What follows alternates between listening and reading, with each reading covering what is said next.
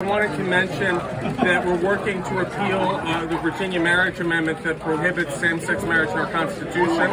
I'm doing that with Delegate Sickles. We couldn't get it through the Republican House of Delegates this year, but we're going to revise our efforts and redouble them. Um, and I wanted to talk, though, uh, about what Governor Youngkin did uh, about a week ago Friday.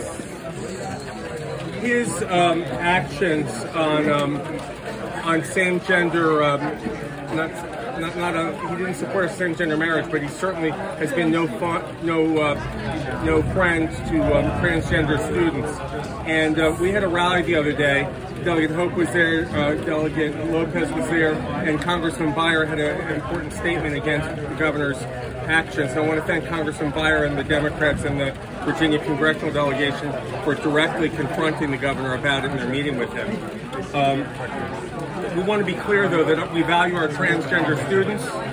Um, the governor is bullying and endangering uh, students for cheap political points, and his uh, new guidelines are in violation not just of federal court rulings, but of the Virginia Human Rights Act, which explicitly states that there'll be no discrimination against uh, transgender people, including in public schools.